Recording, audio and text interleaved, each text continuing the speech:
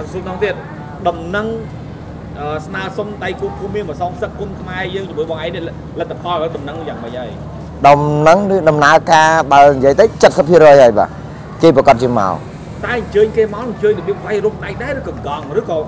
លទ្ធលក្ខណៈគុណខ្មែរបាទនេះលក្ខណៈគុណខ្មែរបាទគឺលក្ខណៈគុណខ្មែរហើយខាងភូមិនេះគេព្រមដែរមកវាយកង់អញ្ចឹងគេព្រមក្បាលបាទអឺ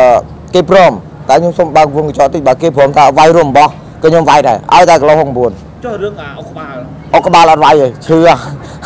ចាញ់គេនឹងអុកក្បាលអត់វាយទេតែដល់ពេលយើងអញ្ជើញគេមកអញ្ចឹងធានសាក់ប៉ុស្តិ៍គាត់មិនបានប្រាប់យើងថា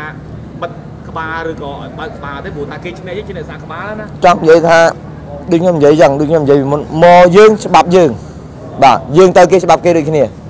បាទមកយើងវាយតាមច្បាប់យើងយើងទៅគេវាយច្បាប់ស្រុកគេហើយ5ទឹកឬក៏3ទឹក5 5ទឹកបាទអឺ